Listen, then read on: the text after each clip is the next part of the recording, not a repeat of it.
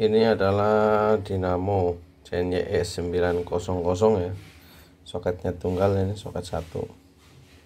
CNYE 900 ya.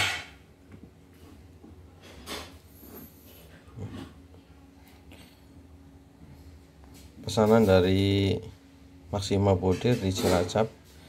Pesanan via Shopee jasa kirim menggunakan CNE reguler. Ini di video dulu sebelum dikirim ya.